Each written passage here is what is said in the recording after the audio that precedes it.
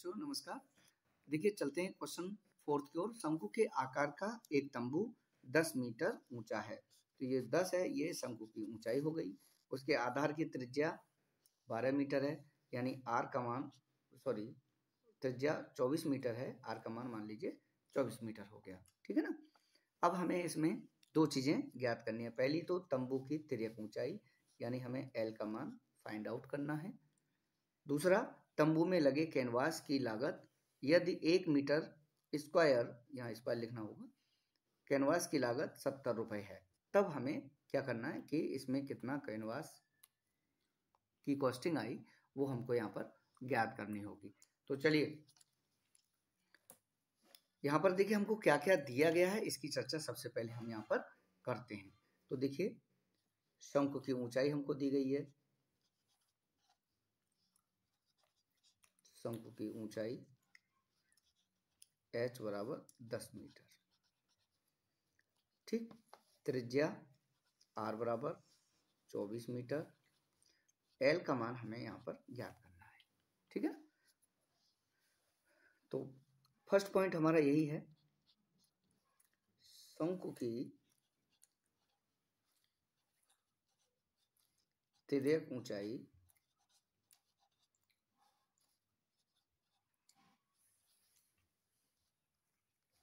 L हमें क्या करना है? फाइंड आउट करनी है। तो यहाँ पर देखिएगा, यहाँ पर आप देखेंगे कि ये कर्ण है,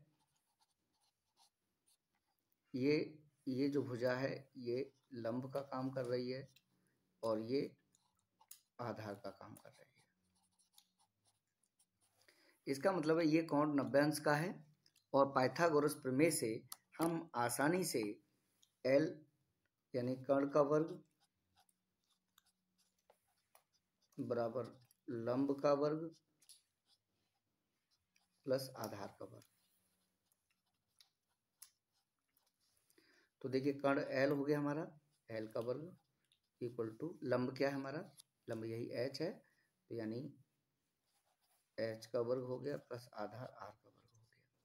तो ये हो जाएगा एच का मान, चूँकि हमें दस मीटर दिया है, यानी दस का वर्ग हो गया, प्लस आर बराबर हमें चौबीस मीटर दिया गया है तो ये हो गया चौबीस का वर्ग। एल स्क्वायर ठीक है? आगे चलते हैं।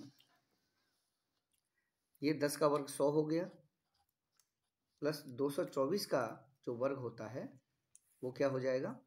दो सौ चौबीस का गुणा कर लीजिएगा तो ये हो जाएगा दो सॉरी, चौबीस, और चौबीस का गुणा हो जाएगा सोलह, एक, छियानवे गुणा चार दुनिया आठ। चार। पाँच सौ छिहत्तर। यानी ये हो जाएगा पाँच सौ छिहत्तर। ठीक है ना? यानी कुल टोटल हो गया ये छः सौ छिहत्तर, यानी एल स्क्वायर। दोनों ओर का वर्गमूल ले लें तो आप लिख सकते हैं दोनों ओर का वर्गमूल लेने पर ये हो जाएगा एल बराबर हो जाएगा रूट छ सौ छिहत्तर और बराबर छब्बीस। ठीक है?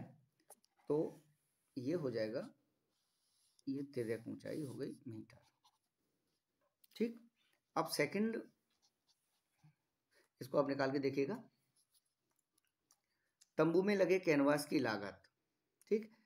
कैनवास की लागत निकालने के लिए हमें ये ये इतना एरिया यानी इसका वक्र प्रश्न निकालना होगा। तो लिखिए। तंबू में लगे आपको दिख रहा है? जी। यानी तंबू में लगे कैनवास की लागत ज्ञात करने के लिए ये वक्र प्रश्न हमको ज्ञात करना पड़ेगा। तंबू में लगे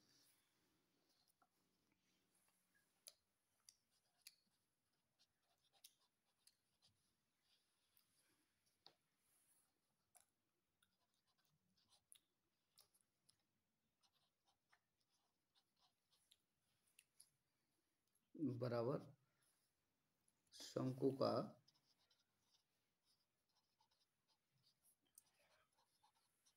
वक्र पृष्ठ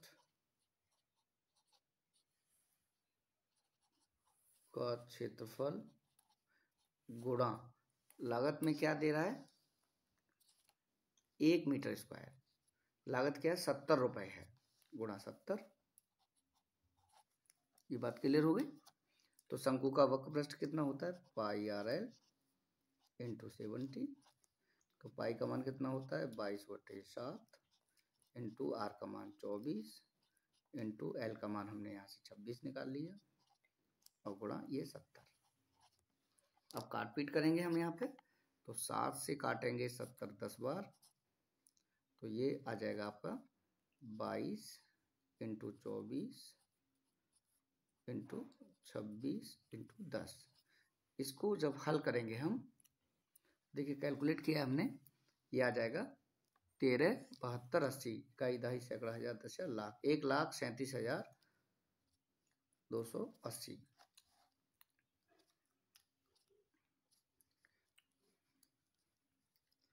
तो लिखिए,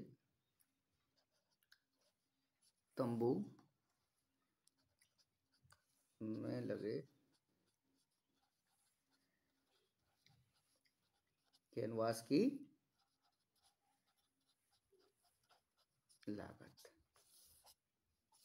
ये दो, दोनों आंसर हमारे निकल आए। तो प्यारे बच्चों हमें आशा है कि ये क्वेश्चन नंबर फोर आपको समझ में आया होगा। वीडियो को लाइक कर दीजिए प्लीज़।